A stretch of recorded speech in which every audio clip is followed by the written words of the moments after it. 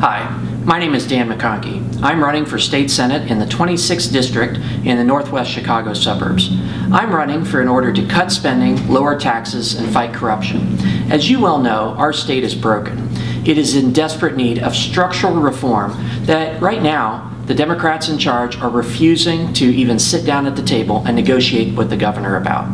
I want to get down there and really help the governor to fight back against the powers that be, the machine here in this state that are committed to leaving things just the way they are.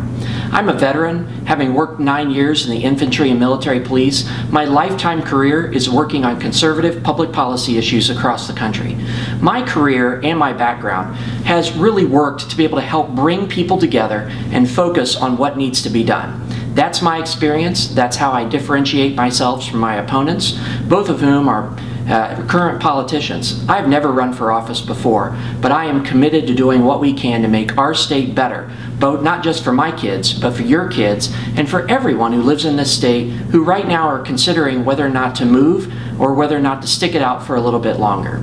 My name is Dan McConchie. I'm asking for your vote on March 15th. Thank you.